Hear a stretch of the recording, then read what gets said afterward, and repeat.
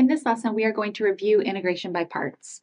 I hope you've seen this technique of integration before. I'll quickly talk through the notation and do the derivation, but we're mostly going to focus today on doing examples. So what we have with integration by parts is you're looking at the product of two expressions. Say you have two functions here, and you can identify one that you would like to call f of x, and the other one which you would like to call g prime of x. The idea is that f is a function you wouldn't mind differentiating, and g is a function you, you wouldn't mind anti-differentiating. If you can do both of those actions, then you can take this integral here, which I've set up as a definite integral, but it could be indefinite as well, and rewrite it in this form. So this is the expression for a definite integral. You would write it as the product of f of x times g of x evaluated at a and b according to the fundamental theorem of calculus. So there's no integration left here, minus an integral that looks kind of like what you started with, but the roles are reversed. So minus the integral from a to b of f prime of x, g of x dx. That's the statement of integration by parts, and I'll show where this expression comes from um, when we do the derivation in just a second. But let me quickly mention this notation that I like better when I'm actually working out problems. And that is, I'll look at an integral, and I'll identify one of the product terms, so what I would have called f of x here, I'll call that u. The rest of it I'll call dv. U is what I'll differentiate, dv is what I'll anti-differentiate. Then the right-hand side is going to be the product uv, evaluated at a and b, minus the integral from a to b of v du. So again, you can see that I reverse the roles of u and v on both sides of this equality. The derivation is straightforward. It comes right from the product rule.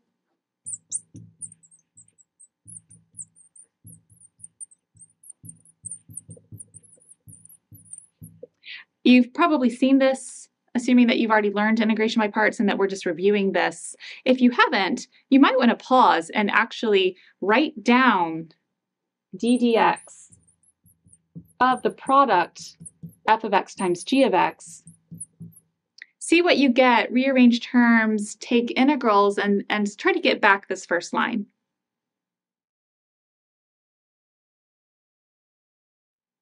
Okay, here's what I hope you got. From the product rule, the derivative of fg is f prime times g plus f times g prime. Like that. Now, I would like to move this, this middle term here to the left. So I'll have the derivative of this product minus f prime g equals fg prime. That's all great, except I'm also going to flip the sides of the equality at the same time. So let me write this one first, and we'll say fg prime equals this one minus that one. So the derivative of f times g minus f prime g.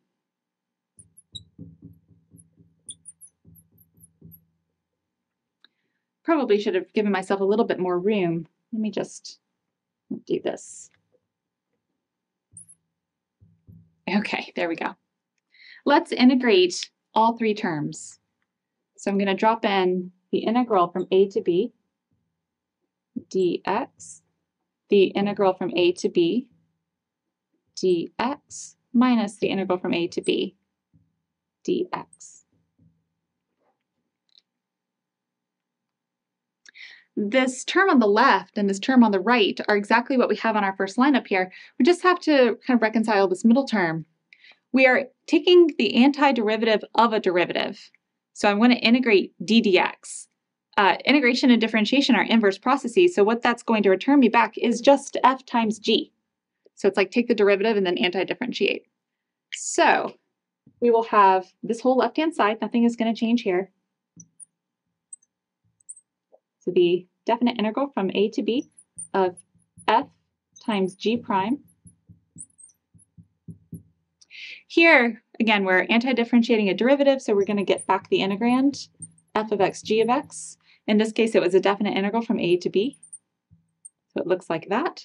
And then minus everything else, which is the integral from a to b of f prime g. So you can see integration by parts is almost a restatement of the product rules, what it feels like. Now that we've just quickly looked at the formula and the notation, we're going to use this middle notation because it's shorter. I mean, you can literally see it's shorter. We're going to use that in our examples. Now we're just going to work through several examples.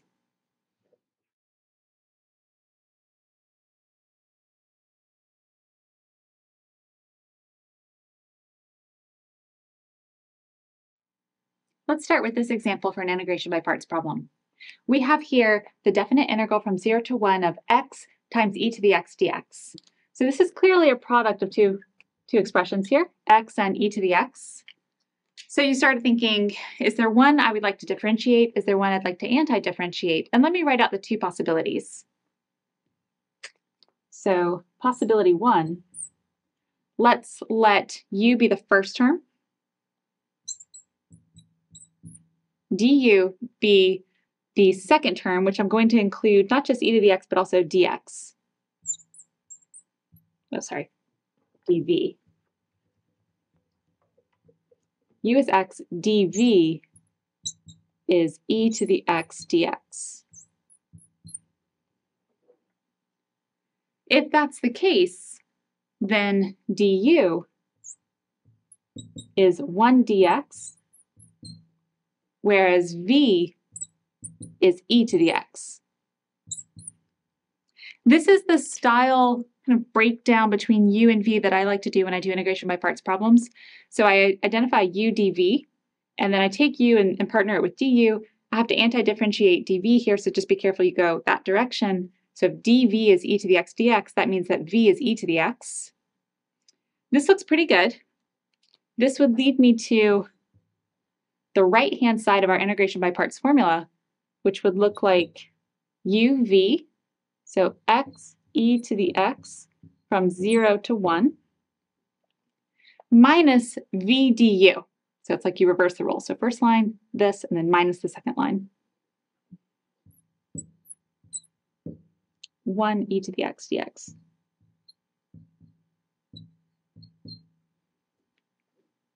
This looks quite good. In fact, let me go ahead and finish this and then we'll look at the second possibility. So for this product UV here, I'm going to plug in the top bound, subtract off plugging in the lower bound. So that's going to be 1 e to the 1 minus 0 e to the 0 minus the antiderivative of e to the x evaluated from 0 to 1. So that's going to be minus e to the x, 0 to 1.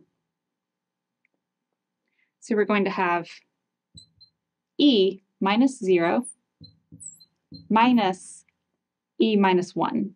So e to the 1 is e, e to the 0 is 1. And overall, this is going to be positive 1. All right. So we, we did it. We integrated this using integration by parts. I was so happy when I saw this breakdown here. I didn't really feel like uh, leaving it but now that we've actually worked out what the answer is, let's take a look at the other possible breakdown between U and V, and we'll discuss why it's not better than what we've already done. In fact, it's worse. So the other possibility would be to reverse the roles here and have U be e to the x dv as x dx. Neither piece here is too hard to work with, but look what happens now when I write the second line. du is e to the x dx. v is 1 half x squared.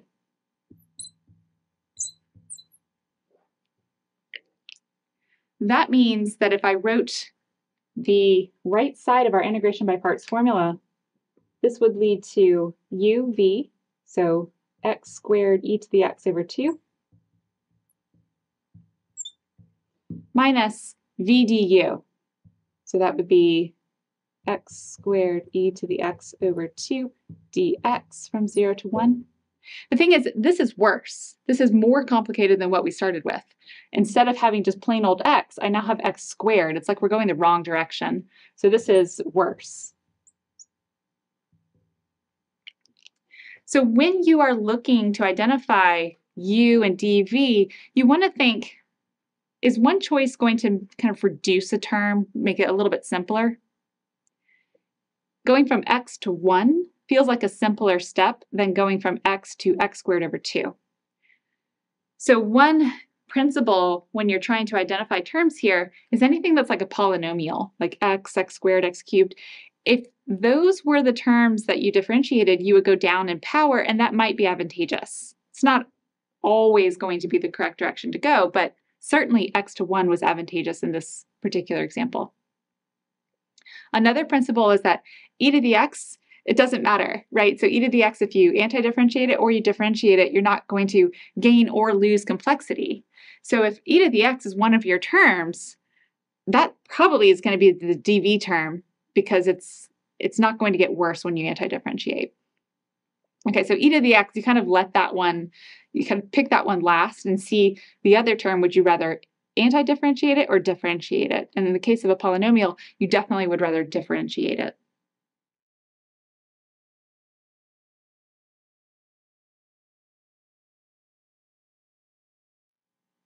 In this example, we would like to compute the definite integral from 0 to 3 pi over 2 of x squared cosine of x dx.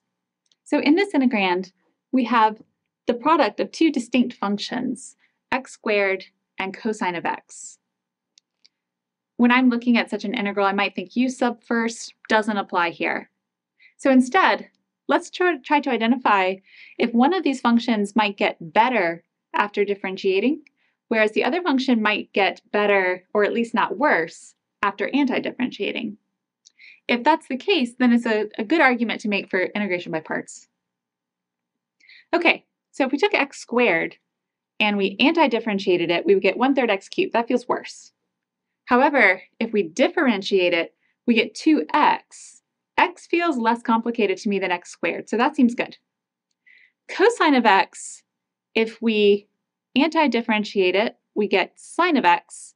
If we differentiate it, we get negative sine of x. Those are pretty much the same, just a constant difference. And also it's not really worse than cosine. So let's try integration by parts where we will let u be x squared and dv will be cosine of x dx. Like that. Okay, this means du is 2x dx. v will be the antiderivative of cosine, that's going to be sine of x. All right. It's just stepping back, kind of check these terms. They seem better to me than what we started with. So it feels like this is a good choice for integration by parts. All right, let's come over here. And I'll go ahead and start to write the right-hand side. So the first term is u times v. That's x squared sine of x.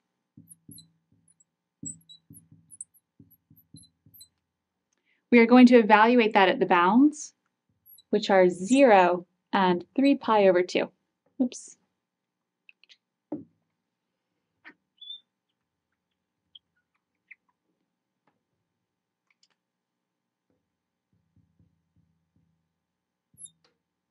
From that, we will subtract off a definite integral from 0 to 3 pi over 2 of the second line. So I'll write that as 2x sine of x dx.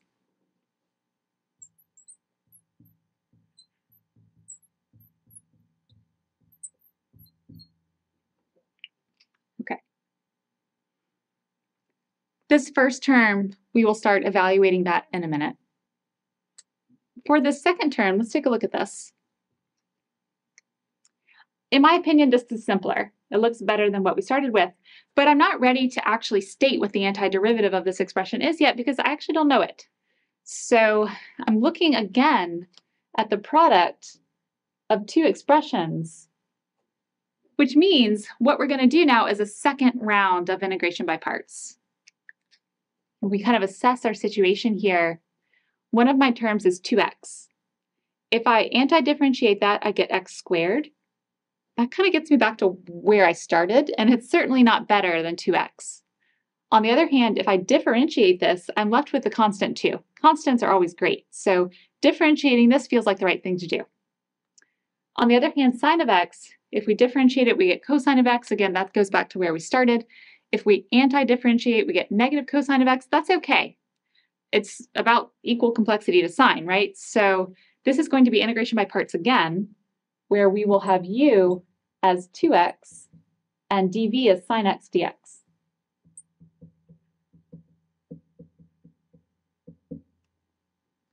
Okay, so that will be the breakdown for this second round. du is 2 dx. v is negative cosine of x. Be careful here not to lose that negative. Okay, again, looking at the next line, or the second line rather, VDU is going to be negative 2 cosine of x, and that's great. That's exactly what we would want to see, something that we could actually integrate right away. Okay, so let's keep going. Slide a little bit to the left. We'll need some room. Let's plug in now for this first term, which is already ready to go. We'll have 9 pi squared over 4 sine of 3 pi over 2. I'll write that once, but that's negative 1. Minus 0. Okay, so that's the first expression here. Minus, be careful here to keep the negative out front, and then this whole integral here is going to be replaced by our second iteration of integration by parts. So that's going to be uv. So let me write negative 2x cosine of x.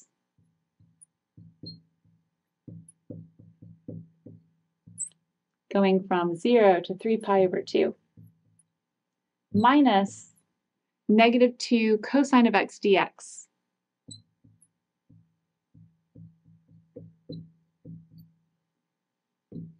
close that off.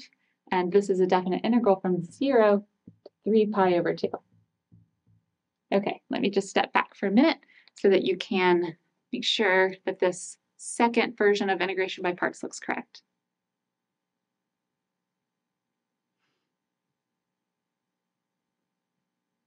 Okay, I think we're ready.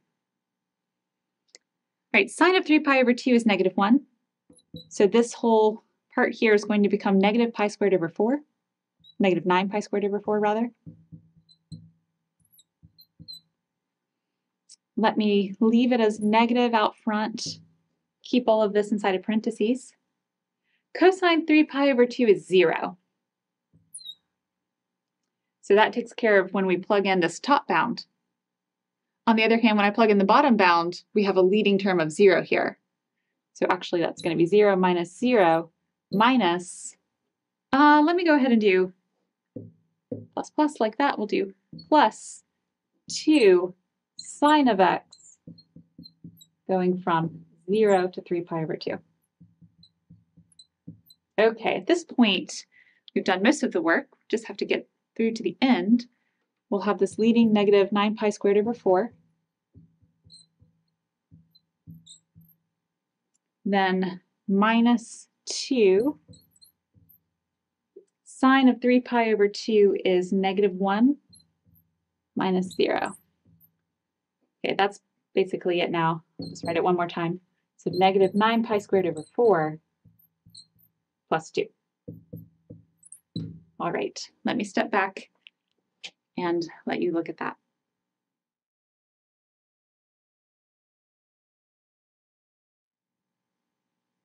What is the antiderivative of natural log of x?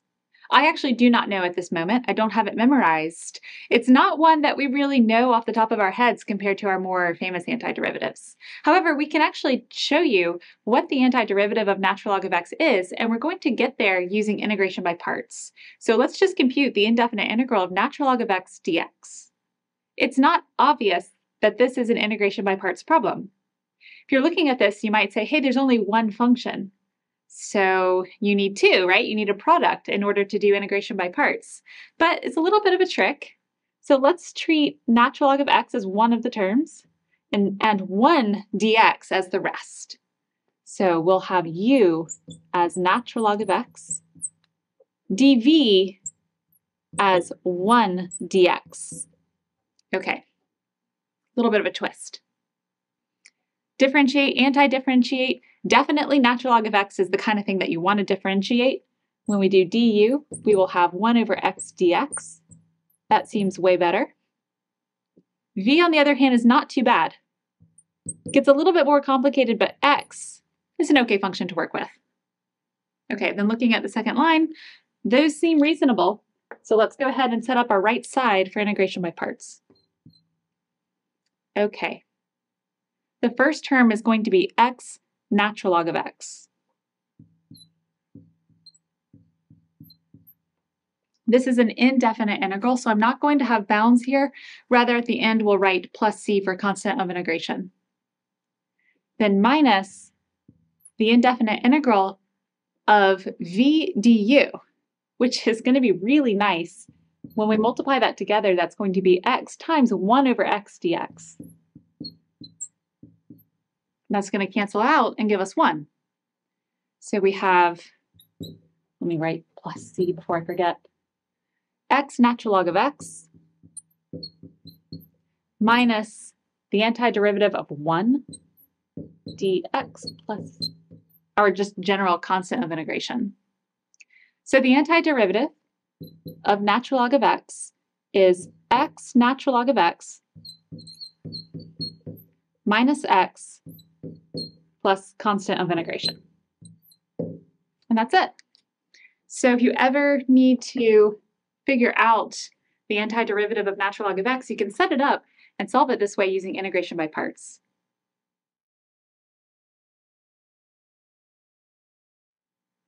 Let's finish with this example. Kind of similar to the previous one, we're going to use integration by parts almost like a trick to compute an antiderivative, and that's the antiderivative of the sine function squared. I mentioned here another way that you can do this using the power reducing formula. That's not what we're going to do in this example, though. What we're going to do is say sine squared of x is a product. It's sine of x multiplied by itself.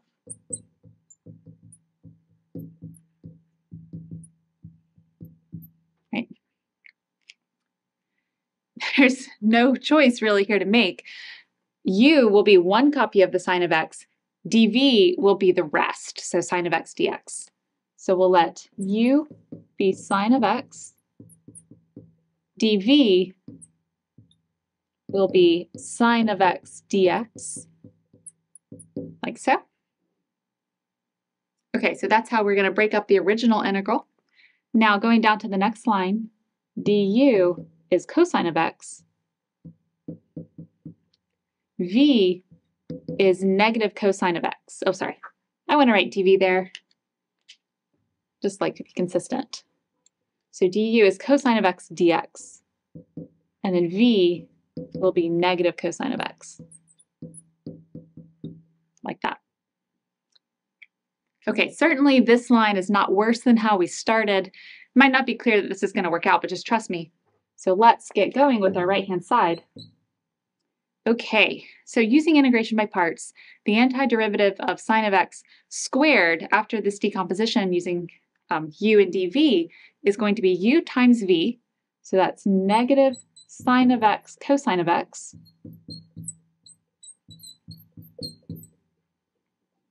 minus the integral of v du.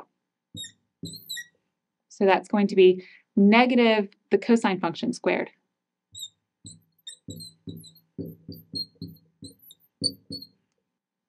Okay, let's just do that you might look at this cosine squared and say, aha, we're going to do that again. Another round of integration by parts with cosine times cosine. And if you do that, you'll actually revert back to sine squared, I think, so that's not the right way to go. Instead, we're going to use the fact that cosine squared of x is 1 minus sine squared of x. So let me rewrite this. I'm actually going to write the whole thing. So starting with our original expression. So we're going to say, what is the antiderivative of sine of x squared? Well, according to what we've done so far, it's minus sine of x cosine of x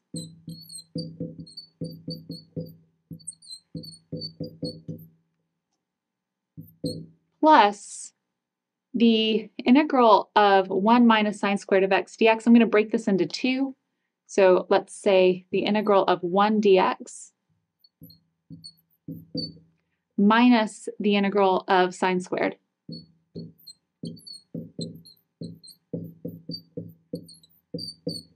Like that. Okay, hope you can see this. So this one is, is easy. So antiderivative of 1 is x. Notice, though, that I've got back to where I've started. So this, at first glance, it might seem bad because it's like, isn't this what we're trying to solve for? And the answer is yes, and this is actually good because I have this expression appearing on the left and right hand sides of the equations. And if I move this over, if I collect like terms, what we're going to have is really an equation to solve for the unknown antiderivative of, of sine squared of x. So if I actually add this over to the, the left-hand side, so I move it over, we can say 2 times what we want.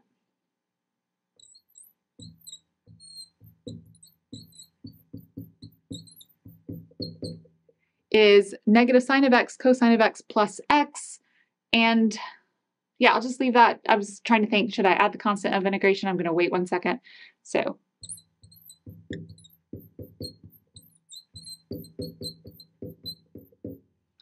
okay we want to solve for this. So let's solve for it like it's a variable in an algebra equation. Divide by 2 to isolate it, and at that point we'll have found the antiderivative. Let me actually take this, um, let me just divide by 2 like this. Okay, so there, we've solved for that, except I should include here a constant of integration. Okay, so with integration by parts and the Pythagorean identity, kind of halfway through, we were able to solve for the indefinite integral of the sine function squared without ever doing what felt like a full round of, of integration, if you know what I mean. Rather, we wrote down an equation for this integral that we wanted to and solved for it like by just collecting like terms and isolating it. I just think that's kind of neat. So um, if you haven't seen this before, this is an alternative way to anti-differentiate sine squared, you can do the same thing with cosine squared. And if you like it, great. If you don't like it, that's okay. You can use the power reducing formula.